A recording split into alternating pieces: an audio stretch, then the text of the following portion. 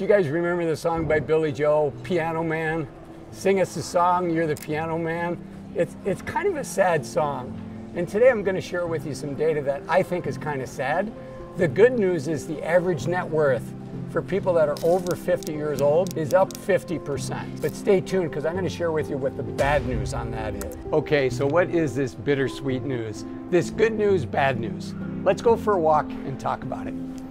Every three years, the Survey of Consumer Finance comes out. Now, this is a report that is, is uh, sponsored by the Federal Reserve, so this is legitimate data.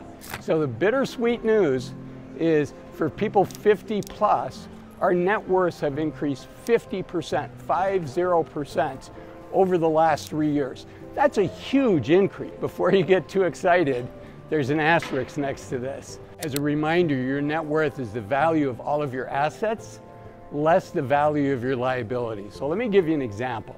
Let's say your only asset was your home, and your home is worth $500,000. And let's say you owed, you had a mortgage of $200,000.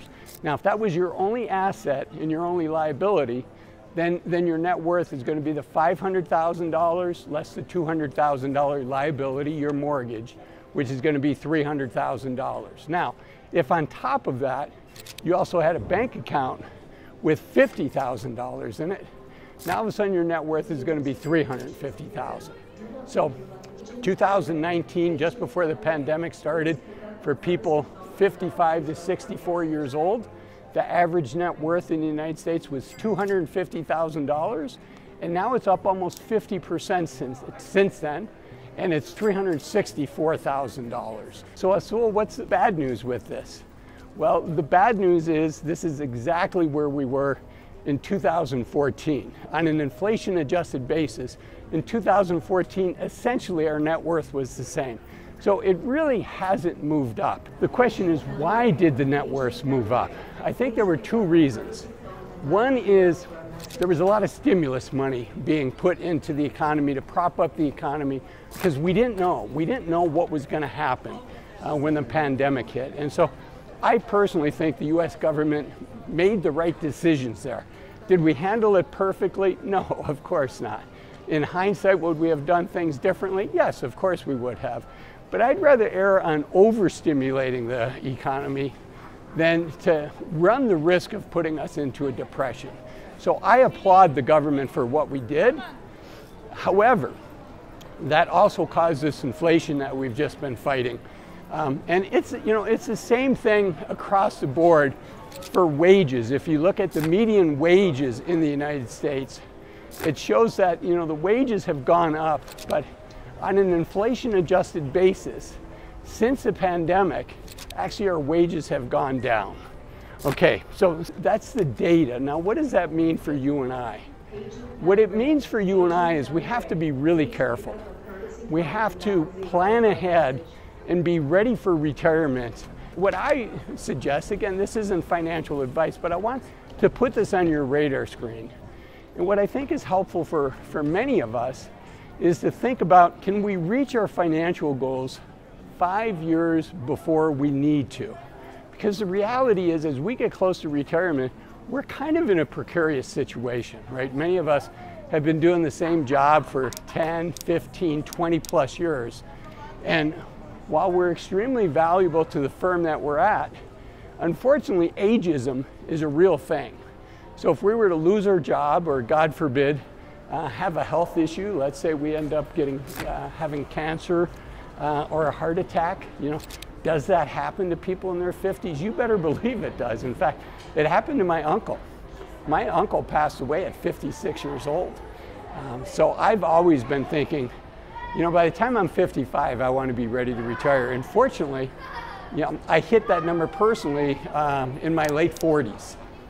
And I'm glad because, like when COVID hit, right, that was a scary time, and it was particularly a scary time in the, the money management industry, which is what the industry I'm in. And the market was down 20% in three weeks.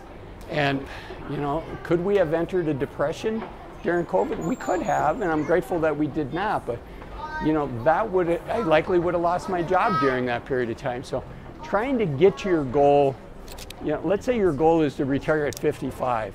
I would really encourage you try to get to that goal at 50.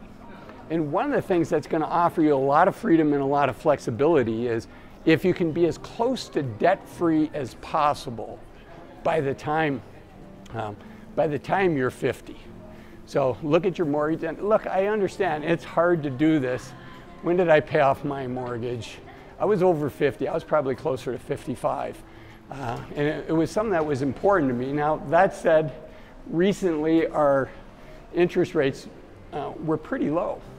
So if you have a mortgage rate that's 3%, 2.5%, I can tell you, likely, again, this isn't financial advice, but likely you're better off keeping that mortgage financially. But from a peace of mind standpoint, boy, if you're going to sleep better at night, there's a, there's a lot to be said for that. And from an optionality standpoint, there's a lot to be said for paying off your house. Because if you can pay off your house in your 50s, now all of a sudden, if you think, you know what, I'm kind of tired of the rat race, I've been working hard, this pressure is, is really beating down on me. Well, now you have a lot of flexibility if you decide you want to retire. Well, where if you have a mortgage, let's say your mortgage payment is $3,500 a month, you know, there's not a lot of people that are going to retire with that hanging over their head. So that's one reason to consider paying off your mortgage. So again, the good news, bad news on this report, right? The survey of consumer finance, which is sponsored by, it's run by the Federal Reserve. This is really solid data. This is probably the most solid data that we have. The good news is we're back to 2014. The bad news is we're not further ahead than that. So, you know, do what you can, keep saving. One of the things that I talk about is many of us were raised with this philosophy save 10% of what you earn and you're going to be fine. And I wish that was the case, but you know, the world was different for the people that gave us that advice. In my case, that was my parents that gave me that advice. Save 10% and you're going to be fine. But, you know, in that world, there were three legs to the retirement stool. There was Social Security. We still have Social Security, though for us, for many of us, it's going to be taxed. Uh, for our parents' generation, uh, until 1984, none of Social Security was considered taxable income. That leg of the stool is still there, but it's a little bit shorter because many of us are going to have to pay tax on that. The second leg of the stool was our own retirement savings, which is the same as today. But what's different is a lot more people back then had a pension from their company. And those days are gone now. Companies are not offering pensions. So our stool, instead of having three legs, you know, one of the legs is shortened and the other leg got ripped off in its entirety.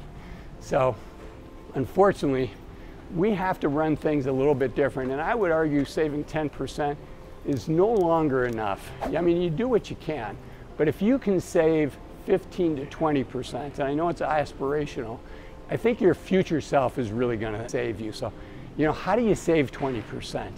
It's not easy. I'll give you a strategy to think about. Now, I'm not a big fan of budgeting. A lot of people would say, oh, start tracking all of your expenses and, and cut out your Starbucks. You know, I can tell you that the reason you're not saving 20% if you're not able to, and few of us are, the reason people don't save 20% has nothing to do with whether they go to Starbucks or not.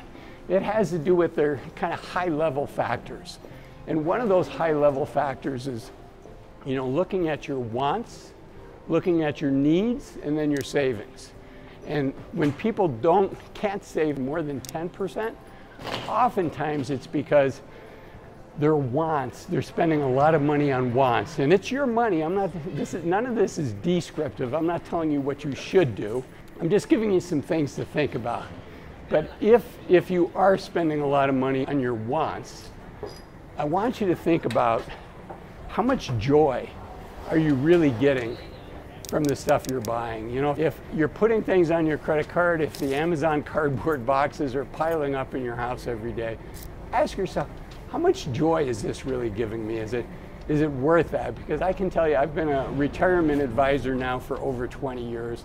And few people say, boy, you know, 10 years ago, I bought this, this gadget, or I upgraded my iPhone every year instead of every three years. And that brought me a lot of joy. I really, I really don't hear that. What I do hear is, you know, I spend time with my grandkids, or I spend time with my adult children, or when my kid was 16 years old, we took a trip to Europe together. And that's just a special, special memory. So what people tend to really appreciate is is the experiences that they have in investing in relationships. You know, if you can save 20%, that's great, but how do you do that? And that's where the 50, 30, 20 rule comes in. 50% towards your needs, things like your mortgage or your rent, your utilities, food, not going out to eat, that would be a want. And then 30% on your wants, things like those Amazon packages that show up, going out to eat, taking a nice vacation, things like that. If we can keep our needs under 30%, which is not easy to do, but that leaves us 20% left over for savings. So that, that's the hard way to save 20%. Let me tell you the easy way to save 20%. And then, I, after all, I am walking through an airport, then let's bring this plane in for a landing. So the easy way to save 20% is over time. You get there gradually. And every time you get a raise, every time you change jobs and you make more money, I want you to think about half of that goes to current you and to your current family, and half of that goes to future you.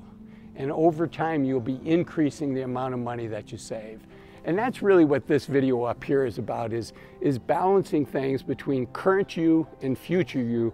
And many of you are sacrificing more than you need to right now in your current journey. Yes, being prepared for retirement is important, but it's also important to enjoy the journey. So seven things I want you to stop doing in your 50s and 60s to enjoy the journey more on the way to retirement.